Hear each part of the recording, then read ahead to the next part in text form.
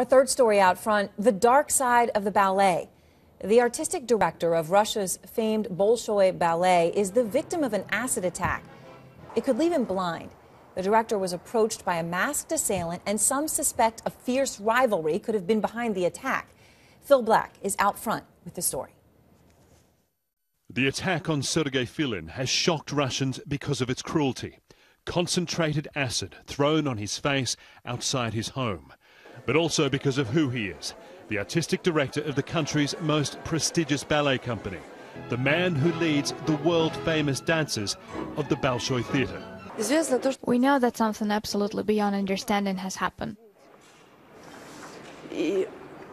Something horrible. It's hard to believe that such thing could happen in the art world. Filin joined the Bolshoi Ballet in 1988 and danced with the company for nearly 20 years. He became artistic director in 2011. To lead the Bolshoi is an opportunity coveted by many in the ballet world.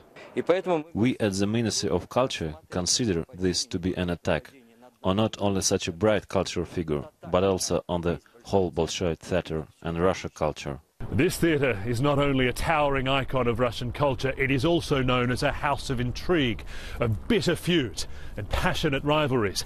But even those who know the theatre intimately, its egos and the powerful emotions that often shake its walls, are shocked to consider the possibility that a professional jealousy has come to this. But Sergei Filin's colleagues believe his work must be the focus of investigations to find out who was responsible. The theatre says before the attack he experienced months of harassment.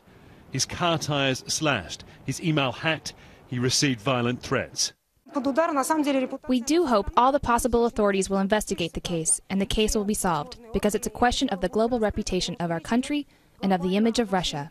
Filin has undergone surgery. It's possible he will lose sight in one or both of his eyes. Phil Black, CNN, Moscow.